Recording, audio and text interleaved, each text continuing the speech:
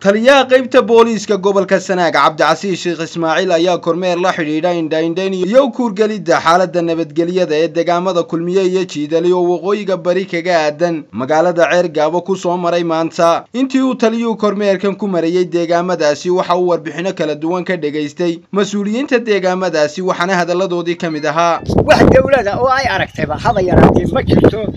Mar uun taraashid lagu maro iyo hawlo yaryar mooyaane.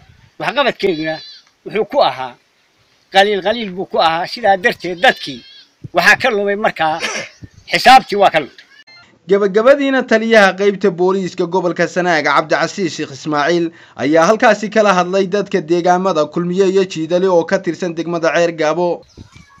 Looma baahna in dawlada ay tiraahdo waddadan ka durka. Idinku garaadkeedu ku garateen wadda samaysta. Garaadkeedu ku garateen magaalo dhista garaadkeeda ku garateen isu kaalay oo suuq samaysta. Waxaa ku garan doontaan haddii barnaal ka dhigo waddadu inay ballaarato rugbilaysna haddii barnaal ka dhigo waanu idiin samayn doonaa. Oo qorshe ayaga way ku jirtaa. Dhowr meeloodoo aan soo maray anigu in intaba laga sameeyo rugbilays kormeerkan ayaa waxa uu qayb ka yahay. Kormeerro kala duwan uu taliyaha qaybta booliiska gobolka sanaag cabdicasiis sheekh ismaaciil ku marayey maalmihii ugu dambeysay qaar ka mid a deegaanada gobolka sanaag cabdiraxmaan axmed ilsar telefishinka caalamiga star magaalada ceer gaabo